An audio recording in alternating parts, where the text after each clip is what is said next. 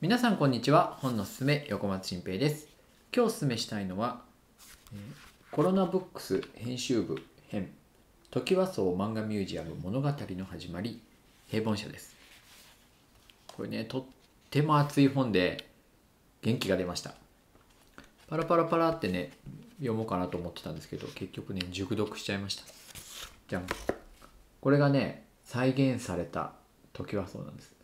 なんでね今この本出たのかなと思ってたんですけども去年2020年にトキワ荘が再現されて建てられてミュージアムになったそうなんです。これを建てるのは大変苦労されたそうであの今の建築基準法にのっとって古い建物を再現するっていうのはとても難しいそうなんです。要するにそのまま作ったらあの許可が下りないのであのうまい工夫をたくさん施してこうなんとかこうこしらえたっていう、えー努力の結晶なんですね。そしてこの中に、えー豊島区長さんの談話が入ってて感動的なんですけども区の職員が3,000人いる中で文化担当が2人しかいなかったんですって。だけどすごく力を入れて職員は2,000人に削減されたんだけど文化担当100人になったそうなんです。そして一生懸命あの地元の方の熱意が集まって、えー再現されたと。1982年にトキワ荘は建て替わされてしまったんですけども去年よみがえった伝説の漫画家たちのアパートです、えーもうね寺田博さんの、えーみんなを励ます感動的なエピソードとかあの読みどころ満載ですこうやってね漫画も載ってますし。でとっても個人的な話なんですけども私1988年頃、えー高校生の時にビッグコミックっていう漫画雑誌を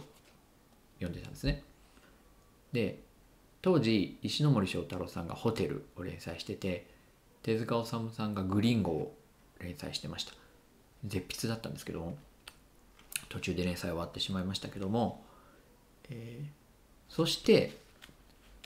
私この本読んで初めて知ったんですけども高井健一郎さんもトキワ荘に住んではいなかったものの住みたいと希望されててゆかりのある方で、えー1988年には高井健一郎さんも総務部総務課山口六平太っていうとってもいい漫画を連載されて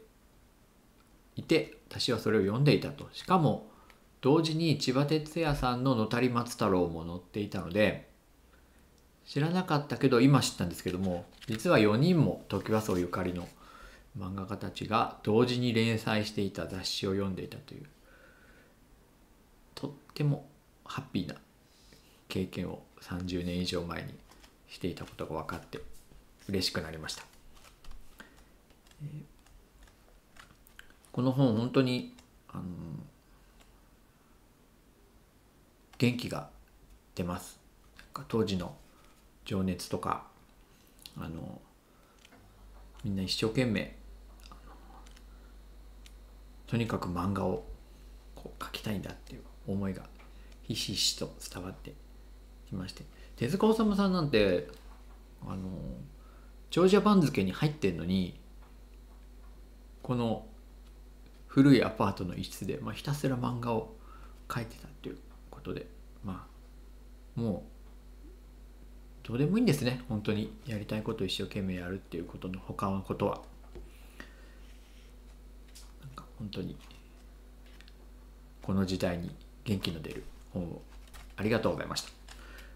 えーということで今日おすすめしたのはコロナブックス編集部編「トキワ荘漫画ミュージアム物語の始まり」平凡社です。これは、えー元気になりたいあなたのための本です。いやちょっと行ってみたいですね。本当に。東京ソ漫画ミュージアム。と思いました。それでは皆さんごきげんよう。本のすすめ横松新平でした